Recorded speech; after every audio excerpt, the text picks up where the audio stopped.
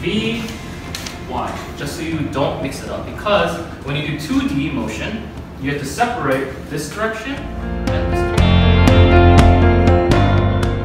Ball, whatever. If I drop these, which one will drop first?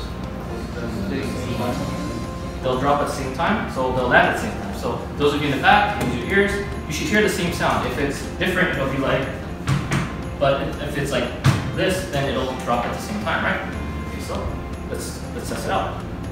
Okay, so same time. Good. So this is where you can imagine. Imagine David Goliath. Why is it? It could be here or it could be here. Why could it be? Oh, because when you throw a rock, it could go either like this or it could have a.